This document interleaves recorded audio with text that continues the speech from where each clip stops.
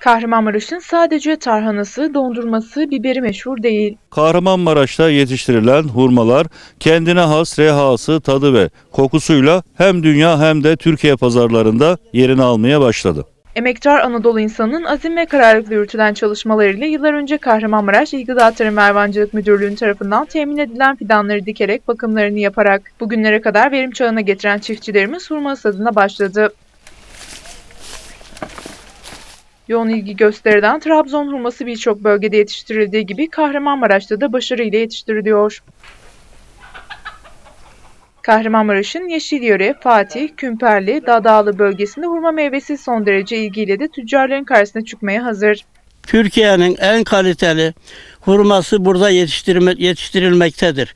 Emektar çiftçilerden olan Ömer Kurt Hurma Bahçesi ile ilgili bahçe tesisinde ve sonrasında katkıda bulunan İl Gıda Tarım Hayvancılık Müdürlüğü elemanlarına teşekkür etti. Tarım İl Müdürlüğü'ne biz çok çok teşekkür ediyoruz.